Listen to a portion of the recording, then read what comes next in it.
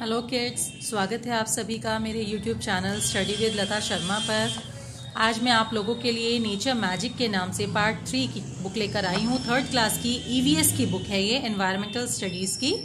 आज हम इसमें चैप्टर 18 रीड करेंगे रीचिंग प्लेसेस ओके स्थानों पर पहुँचना किस तरह से पहुँचा जाता है? वार्म अप में यहाँ दिया गया है find out the uses of the following means of transport यहाँ पर आपको कुछ ट्रांस मीन्स ऑफ़ ट्रांसपोर्ट के पिक्चर्स दिए गए हैं, उनके नाम दिए गए हैं। आपको बात करनी है आपस में कि ये ट्रांसपोर्ट के मीन्स किस कार, काम में आते हैं, ठीक है? चलिए लेसन स्टार्ट करते हैं। How do you go to school आप स्कूल कैसे जाते हो? मेनी चिल्ड्रन वॉक काफ़ी बच्चे हैं जो चल कर जाते हैं। सम राइड देयर बाइक्स कुछ अपनी बाइक्स या साइकिल्स वगैरह चलाते हैं। सम गो इन कार्स इन बसेस और कुछ कार्स और बसेस में जाते हैं। The ways or methods by which people and goods are moved from one place to another are called means of transport. वे साधन जिनके द्वारा लोग या फिर सामान एक स्थान से दूसरे स्थान तक पहुँचता है, उन साधनों को हम यातायात के साधन कहते हैं, यानी मीन्स ऑफ़ ट्रांसपोर्ट कहते हैं। Means of transport can be divided into three modes यातायात के साधनों को हम तीन तरीकों से देख सकते हैं land transport water transport and air transport है ना? आप सब जानते हो ना बच्चों, यही तीन माध्यम है जिनके द्वारा हम यातायात कर सकते हैं या वस्तुओं को यहाँ से वहाँ ले जा सकते हैं। लैंड ट्रांसपोर्ट क्या होता है? The common means of land transport in villages are bullocks horses donkeys and elephants ये कह रहे हैं कि लैंड ट्रांसपोर्ट की जब हम बात कर रहे हैं तो इसमें वे सभी साधन आते हैं जो धरती पर चलते हैं।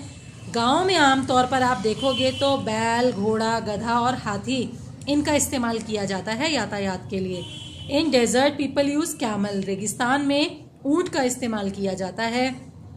They have padded feet that do not sink in the sand ऊंटों के जो पैर होते हैं, वो गद्दीदार होते हैं पैडेड होते हैं, जिस कारण वो रेत में धंसते नहीं हैं। So they can walk easily in desert इसलिए क्या होता है कि वे आसानी से रेत पर चल पाते हैं। That is why the camel is called the ship of the desert यही कारण है कि कैमल्स को शिप ऑफ़ डेजर्ट कहा जाता है, यानी रेगिस्तान का जहाज़ कहा जाता है।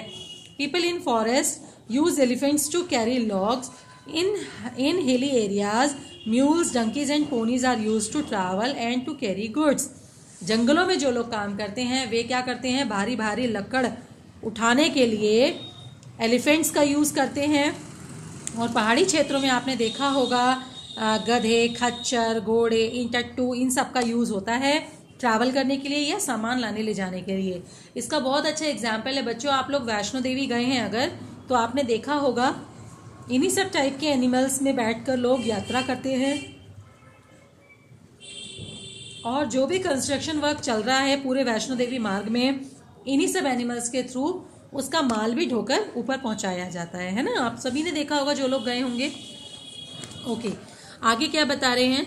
In towns and cities car buses van scooter motorcycle truck and bicycles are common means of land transport शहरों में अगर आप देखेंगे तो ये सभी यातायात के साधन हमें देखने को मिलते हैं जो कि धरती पर चलते हैं। In big cities like Mumbai, Kolkata, Delhi and Chennai, there are local trains. These trains carry millions of people to their working place and back. Delhi, Kolkata and Mumbai have metro train. It runs under the ground as well as above the ground. यहाँ बता रहे हैं बड़े शहर बॉम्बे मुंबई कोलकाता दिल्ली और चेन्नई में अगर आप देखोगे तो यहाँ पर बहुत सी लोकल ट्रेन हैं जिसमें लाखों लोग रोज़ाना काम करने के लिए जाते हैं और वापस अपने घर भी आते हैं। डेली ट्रेन से अप डाउन करते हैं। दिल्ली, कोलकाता और मुंबई जैसे शहरों में मेट्रो ट्रेन भी चल रही हैं, जो ज़मीन के नीचे भी चलती हैं और ज़मीन के ऊपर भी चलती हैं। Train are also use to travel long distance since India is a big country train is considered to be the most convenient mode of transport train का इस्तेमाल लंबे सफ़र के लिए भी किया जाता है। जैसे कि आप सभी जानते हैं कि इंडिया बहुत बड़ा शहर है सॉरी बहुत बड़ा देश है। तो ट्रेन को सबसे ज़्यादा कन्वीनियंट यानी सबसे ज़्यादा सुविधाजनक माना जाता है यातायात के साधनों में, है ना? नेक्स्ट यहाँ बता रहे हैं वाटर ट्रांसपोर्ट वाटर ट्रांसपोर्ट क्या होते हैं? Boat steamers ferries and ships are the most common means of water transport ये सभी क्या हैं? वाटर ट्रांसपोर्ट के बहुत ही सिंपल सामान्य से साधन है। Boat steamer and ferries carry people and goods across the rivers ship carry passenger and heavy goods across the sea to other countries boat steamer और फेरीज क्या है? ये छोटे यातायात के लिए, यानी लोकल आने जाने के लिए इस्तेमाल में किए जाते हैं, जबकि शिप का प्रयोग एक देश से दूसरे देश में यात्रियों को ले जाने या भारी सामानों को पहुँचाने में किया जाता है। Ships need a good port for loading and unloading goods ships को क्या होता है? जैसे एरोप्लेन को आ, आ, मतलब लैंड करने के लिए एक अच्छे खासे स्पेस की ज़रूरत होती है जहाँ पूरी फैसिलिटीज़ अरेंज की जाती है। उसे एयरपोर्ट कहते हैं ना? ऐसे ही शिप्स को भी सामान लादने या सामान उतारने के लिए पोर्ट्स की ज़रूरत होती है है ना? तो Mumbai is the biggest and busiest port in India ship से आ, मतलब आप बिज़नेस कर रहे हो शिप से आप ट्रैवल कर रहे हो। शिप मतलब आ, जो शिप बिज़नेस है ना पोर्टिंग बिज़नेस जो है, वो बॉम्बे में सबसे बड़ी मात्रा में होता है। ठीक है? तो नेक्स्ट क्या बता रहे हैं? एयर ट्रांसपोर्ट एयर ट्रांसपोर्ट में क्या है? Aeroplanes and helicopters are the main means of air transport air transport है वायु यात्रा करने के साधन, जिसमें एरोप्लेन्स और हेलीकॉप्टर्स शामिल हैं। इनके द्वारा हम क्या करते हैं? हवा में यातायात करते हैं। Aeroplanes are the fastest and the costliest means of transport बच्चों, क्योंकि एरोप्लेन सबसे कम समय में सबसे लंबी दूरी तय कर सकते हैं, इसीलिए ये बहुत महँगे भी होते हैं। माने इनकी यात्रा बहुत महँगी होती है।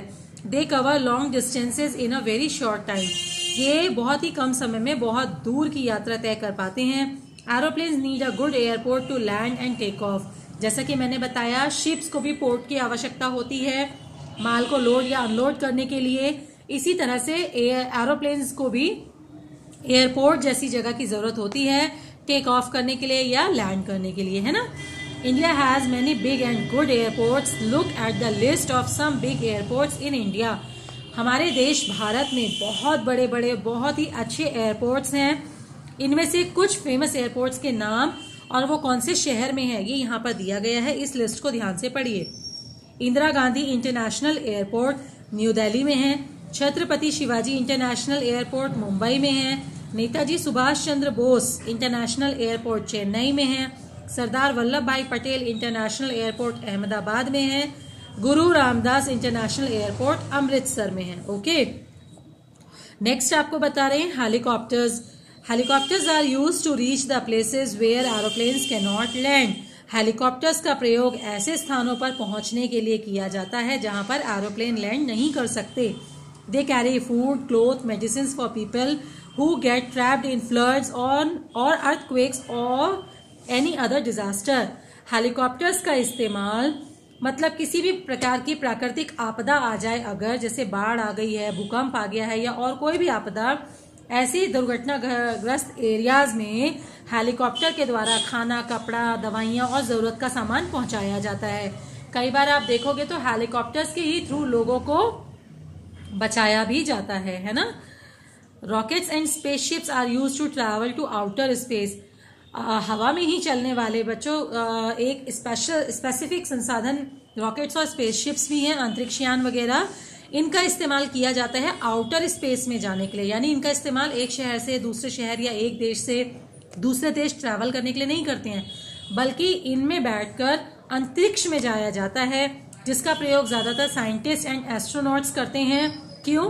ताकि वे एक्सप्लोर कर सकें द इंटायर यूनिवर्स हमारी पूरी आ, पूरे संसार को पूरे ब्रह्मांड को वो लोग एक्सप्लोर कर सके उसके बारे में ज़्यादा से ज़्यादा जानकारी हासिल कर सके और हम तक पहुंचाएँ है ना? Fuels for vehicles most vehicles need some fuels to move ज़्यादातर जो संसाधन होते हैं जो इंजन से चलते हैं, आप ऐसे समझ सकते हो, जो इंजन से चलते हैं, उनको पेट्रोल, डीजल और सीएनजी जैसी फ्यूल्स की आवश्यकता पड़ती है चलने के लिए, ठीक है? Fuels of vehicles give off smoke और fumes that can pollute air vehicles से निकलने वाले इन फ्यूल्स के जलने से जो धुआँ निकलता है ना व्हीकल्स से जो धुआँ निकलता है, वो क्या करता है? वो एयर को पॉल्यूट करता है। We should choose the mode of transport wisely so that the fuel is not wasted हम सभी को बहुत ही चतुराई से ट्रांसपोर्ट का साधन मतलब अपने यातायात के लिए कि ऑफ़िस जाना है या कहीं भी जा यात्रा करनी है उसके साधनों को बहुत सोच समझकर हमें आ, चुनना चाहिए इस्तेमाल करना चाहिए ताकि फ्यूल वेस्ट ना हो। क्यों कहा जा रहा है ऐसा? क्योंकि बच्चों फ्यूल ना एक लिमिटेड अमाउंट में है इस धरती पर। अगर हम उसे वेस्ट कर देंगे तो फिर आगे यात्रा कैसे कर पाएँगे? One should make it a habit to walk short distances हर किसी को ये आदत बनानी चाहिए कि थोड़ी दूरी तक के लिए वो वाहन का इस्तेमाल ना करे, बल्कि अपने पैरों पर चल कर जाए, है ना यहाँ पर थिंक ग्रीन करके ग्रीन कॉर्नर दिया गया है इसमें कुछ इंपॉर्टेंट चीज़ आपको बताई जा रही है Vehicles move on different fuels such as petrol and diesel. Too many vehicles on the road add to air and noise pollution. आपने जैसा कि इस चैप्टर में पढ़ा कि व्हीकल्स को चलने के लिए पेट्रोल डीजल सीएनजी टाइप के फ्यूल्स की आवश्यकता होती है बहुत ज़्यादा व्हीकल्स जब रोड पर चलते हैं तो न केवल वायु प्रदूषण होता है, बल्कि ध्वनि प्रदूषण भी होता है। By walking short distances we can reduce pollution छोटी दूरियों को तय करने के लिए अगर हम पैदल चलेंगे तो इससे पॉल्यूशन कम होगा। We save fuel at the same time और साथ साथ हमारा ईंधन भी बचेगा। Sharing a ride to school with other kids in the neighbourhood is also a good idea अगर मान लीजिए अड़ोस पड़ोस से दो बच्चे एक ही स्कूल में जा रहे हैं तो दोनों के पापा उन्हें अलग अलग बाइक्स पे या कार्स पे लेकर क्यों जाएँ? अच्छा ये होगा ना कि किसी दिन एक के पापा दोनों को ले जाए, किसी दिन दूसरे के। इससे आपका टाइम भी बचेगा और फ्यूल भी बचेगा। इट इज़ कॉल्ड कारपूल इसे हम कहते हैं कारपूल यानी कार शेयर करना ओके तो बच्चों, इसी के साथ आपका ये चैप्टर फिनिश होता है। आई होप आप सबको ये चैप्टर अच्छे से समझ में आ गया होगा। बच्चों, आपको वीडियो पसंद आई हो तो प्लीज़ इस वीडियो को लाइक करना और मेरे इस चैनल को अपने दोस्तों के साथ शेयर ज़रूर करना ताकि वो भी एजुकेशन का फ़ायदा उठा सके ओके थैंक यू